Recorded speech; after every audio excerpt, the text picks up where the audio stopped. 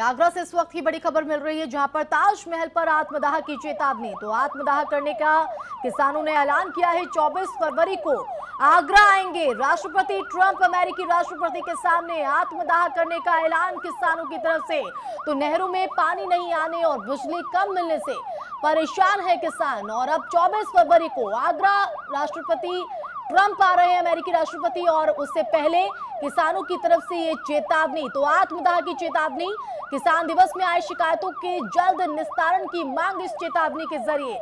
तो आगरा से बड़ी खबर आपको हम दे रहे हैं, ताजमहल पर आत्मदाह की चेतावनी, किसानों की तरफ़ से ये बड़ा ऐलान आत्मदाह को लेकर किया गया है। तो अमेरिकी राष्ट्रपति के सामने आत्मदाह करने का ऐलान किसानों ने किया है। आपको बता दें कि भारत दौरे पर अमेरिकी राष्ट्रपति आ रहे हैं और 24 फरवरी को, जहाँ वो ताजमहल का दीदार करेंगे और उससे पहले किसानों ने आत्मदाह का ऐलान किया है तो किसान दिवस में आए शिकायतों के जल्द निस्तारण की मांग इन किसानों की तरफ़ से और ये बड़ा ऐलान और इसी पर ज़्यादा जानकारी के लिए हमारे संवाददाता शिव चौहान भी फ़ोन लाइन पर जुड़ गए हैं। शिव, ताजमहल पर आत्मदाह की चेतावनी किसानों की तरफ़ से बड़ा ऐलान ट्रंप के ताजमहल दीदार से पहले।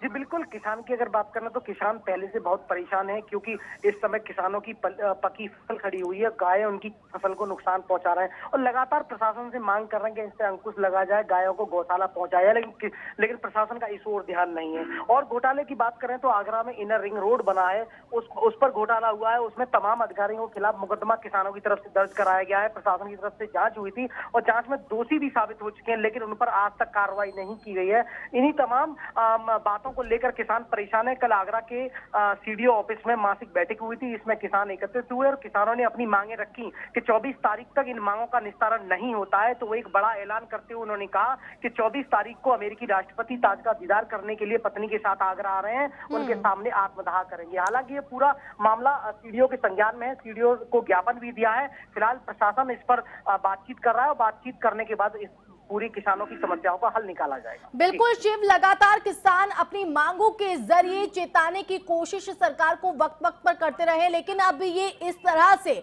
ऐसे समय में ये बड़ा ऐलान सरकार के लिए चुनौती ज़रूर पेश कर रहा है।